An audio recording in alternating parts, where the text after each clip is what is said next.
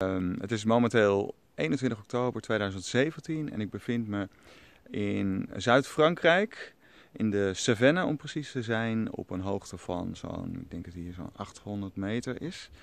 Ehm, prachtig gebied met dennen, uh, mediterrane eiken, heel veel jeneverbes, uh, kastanjebomen. Uh, ja, dat is de voornaamste begroeiing. En um, het heeft hier vanaf het voorjaar niet meer geregend. Geen, echt letterlijk geen druppel gevallen.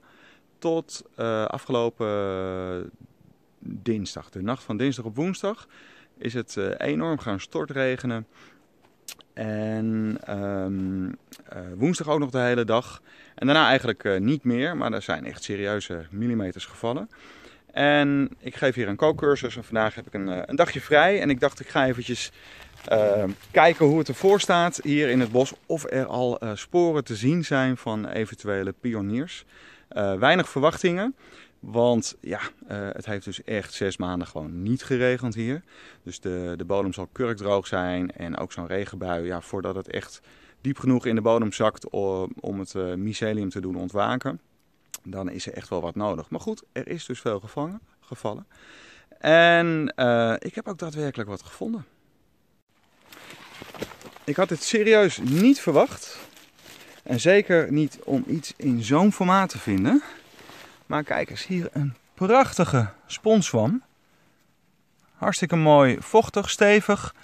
Uh, nou ja, een, flinke, een flink formaat toch al.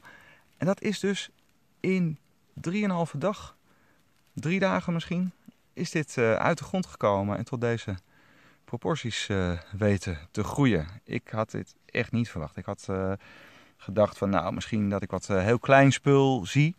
Maar dat, nou ja, dat zo'n sponsvorm in drie dagen tijd zo enorm kan groeien. Ik heb hier trouwens begin deze week, afgelopen week, ook gelopen. Stond hier echt helemaal niks. Het was kurkdroog. En ik ging er eigenlijk vanuit dat dit de eerste kookcursus zou zijn die ik hier geef sinds 2004. Uh, waarbij ik niet ook met de cursisten het bos in zou kunnen gaan om wat uh, te vinden.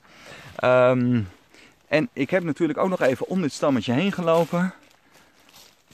En daar staat er dus nog eentje. Ietsje kleiner. Wat geler van kleur, maar prachtig ook. Ik um, ga ze zeker uh, oogsten. We gaan er van de week iets, iets lekkers meemaken en ik ga nog even verder zoeken.